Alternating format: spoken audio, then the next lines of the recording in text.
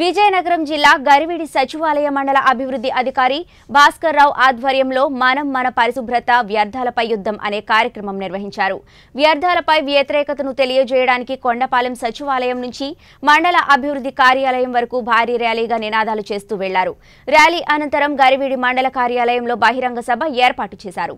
ఈ ర్యాలీలో విజయనగరం పార్లమెంట్ సభ్యులు బెల్లాన చంద్రశేఖర్ పాల్గొన్నారు. ఈ సందర్భంగా ఆయన మాట్లాడుతూ ముఖ్యమంత్రి జగన్మోహన్ రెడ్డి ప్రతి కుటుంబానికి అనేక సంక్షేమ పథకాలు అందేటట్లు చేశారన్నారు. డిసెంబర్ ఏడవ తేదీ నుంచి ఇరవై ఒకటవ తేదీ వరకు రాష్ట్రమంతా మనం మన పరిశుభ్రత కార్యక్రమాన్ని పెట్టి ప్రతి గ్రామంలో ప్రజలకు పారిశుద్ధ్యం ప్లాస్టిక్ వ్యర్థాలపై అవగాహన కల్పించి ప్రతి గ్రామం పరిశుభ్రంగా ఉంచుకొని అనారోగ్య బారిన పడకుండా ఉండాలన్నారు. ఈ సందర్భంగా ఈఓపీఆర్డి రామకృష్ణ మాట్లాడుతూ ఏడవ తేదీ మొదటి రోజు జిల్లాలో రెండవ రోజు మండలాల్లో భాగంగా ఈ రోజు మండలంలో జరిగిందన్నారు. పదకొండు రోజుల పాటు పాటు గ్రామాల్లో వ్యర్థాలపై యుద్ధం గూర్చి సభలు ఏర్పాటు చేసి వివరించడం జరుగుతుందన్నారు.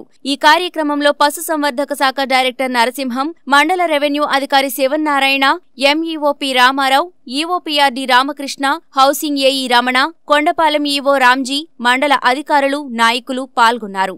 ఈ నియోజకవర్గానికి సంఖ్యల నీళ్ళు తీసుకొచ్చి తాగడానికి ప్రతి గ్రామంలో కూడా ప్రతి వాడల్లో కూడా మనం ట్యాంకులు కట్టించి నీళ్ళు ఇస్తున్నాం.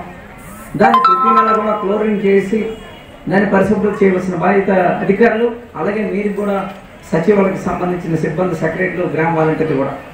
దాన్ని క్లోరినేషన్ చేస్తే కొంతవరకు మనం డైరియా కానీ మలేరియా కానీ టైఫాయిడ్ కానీ ఇటువంటి జబ్బులు రాకుండా మనం నివారించుకోవడానికి మంచి అవకాశం.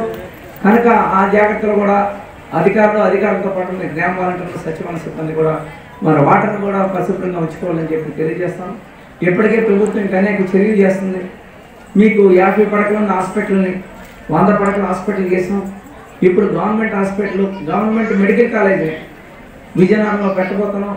ఎనభై ఎకరాలు ఇప్పటికే ప్రభుత్వం శాంక్షన్ చేసింది. సుమారు నాలుగు వందల కోట్ల రూపాయలతోని దానికి సంబంధించిన హాస్పిటల్ కడుతున్నాం.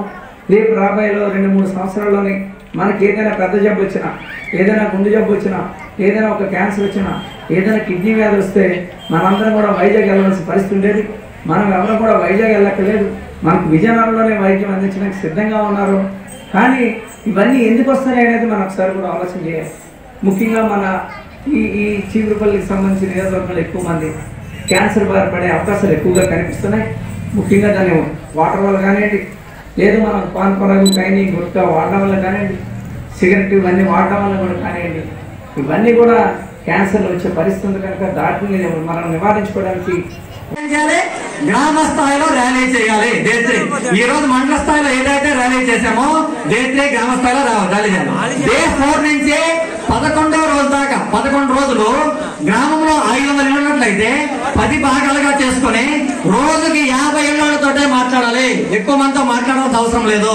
రోజు యాభై ఇళ్ళను పిలుచుకొని ప్రతి ఇంటికి టీం వెళ్ళి పంచాయతీ స్థాయిలో ఉన్న టీము ఆ యాభై ఇళ్ళతో మాట్లాడి